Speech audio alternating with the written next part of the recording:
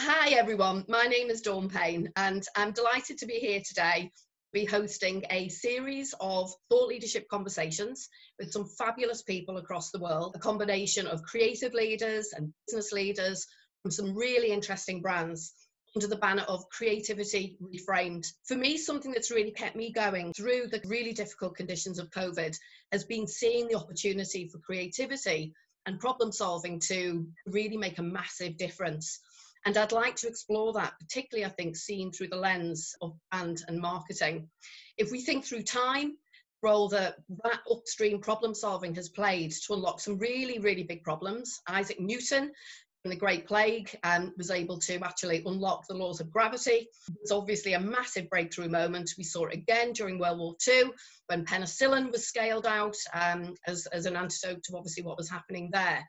Um, I'm just really personally passionate about this topic. So, who better than to be with me today?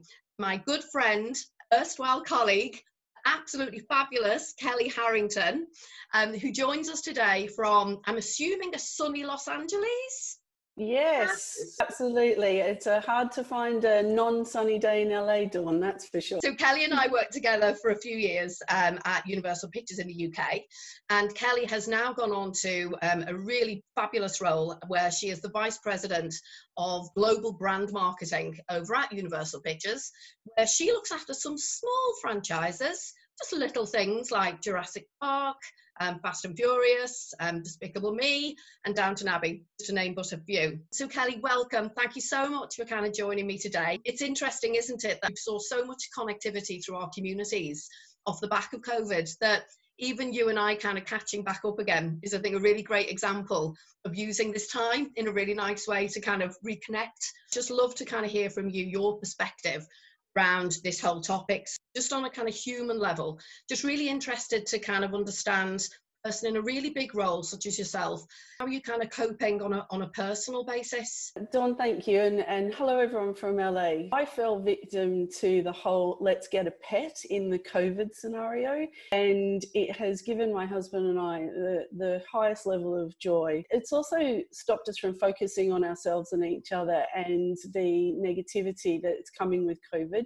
It's really brought a positive experience into our little household. The other thing i'm sure everybody's doing this is using technology technology to stay in touch with family. I've got family all over the world, so from the UK to Australia to Canada, and making sure that I'm touching base. My grandmother is 96 years old. She lives on her own, but she's moved in with my mum, and so they're constantly doing dress up and cooking and all sorts of things to stay in contact. So, yeah. you know, using technology to stay connected is really, really important during these times. And how are you finding it, I guess, in terms of the kind of management of remote teams and kind of work from home? I would say it's not without its challenges because with managing teams, you've got personalities. And when you're in the office and you've got that face to face time, it's a lot easier to pick up on the cues, um, whether that's body language or whether it's tone. And when you're relying on particularly email quite heavily or technology like Teams or Zoom, you can lose some of those nuances. Making sure that I have daily contact with all of my teams, not just my direct reports, but the full team. So we have meeting every week,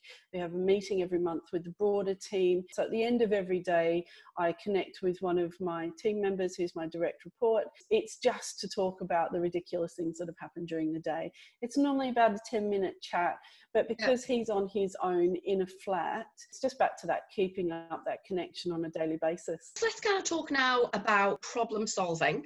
I'd kind of love to hear from you, Kelly, about some of the stuff that you guys Universal Pictures point of view have been up to in terms of how have you been able to kind of make sense of creativity through all of this? But one of the things that really stood out as you were saying that is content. Entertainment itself is really, really important to get people through these times.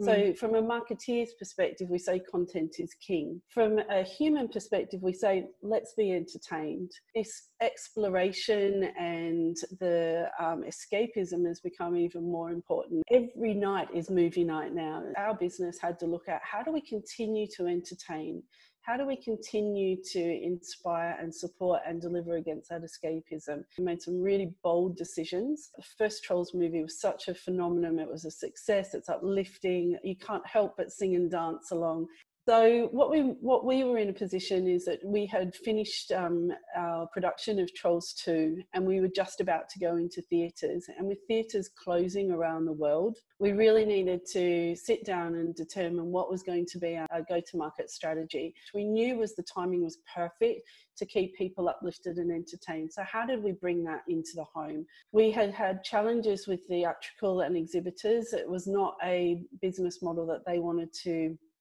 support, but actually working with them and getting them to understand that we were in a completely different um, environment and it wasn't necessarily something that we were going to continue to do once the stay at home orders were lifted. But we did take Trolls 2 to premium VOD, which is premium video on demand.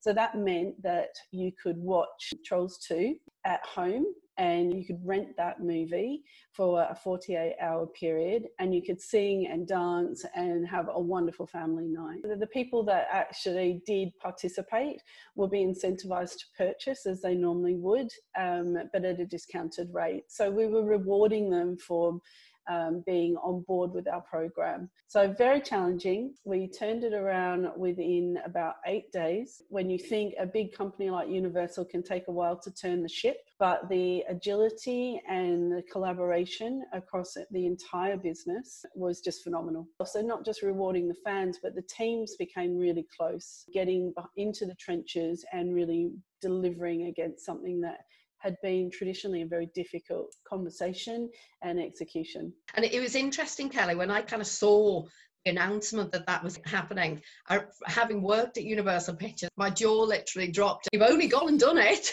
Yeah.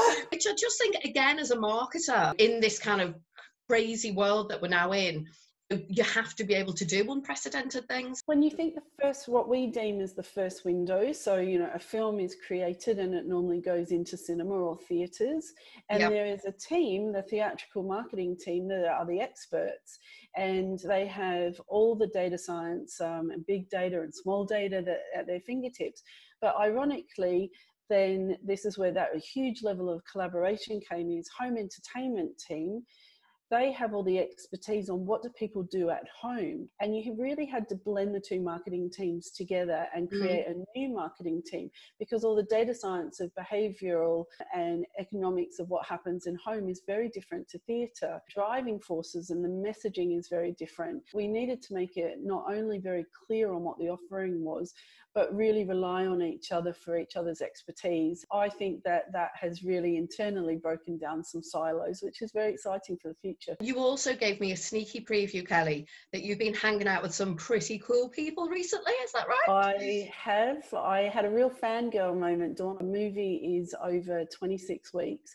It's then deemed library or catalogue. Mm-hmm. And these titles, as you know, are available across physical and digital. And actually, what we've been looking at is reconnecting people with with films that they love. What we've created is an eight-week viewing program. In the UK, it is 8:45 p.m. on a Saturday for the next couple of months. Our first film that we did was Pitch Perfect. It's a Twitter watch party. The actual technology is that everybody gets to queue their copy of the film so you can purchase pre-purchase the film. So we'll have the talent or influencers and what they'll do is they will show behind the scenes footage photographs they may have taken on set and then we'll do a countdown and we all watch the film together.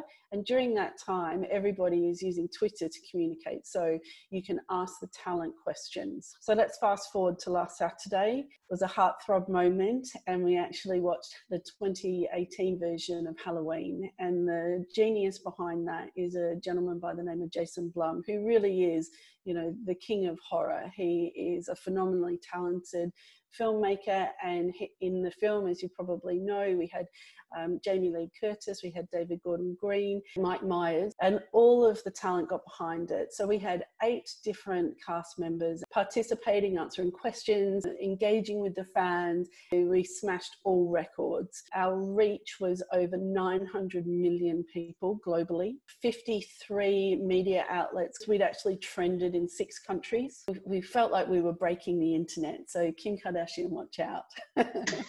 fans found that incredibly exciting. The number of people that dressed up at home and created their own little watch parties. It just goes to show that people want to connect, they want to be entertained, yeah. and back to that content is king.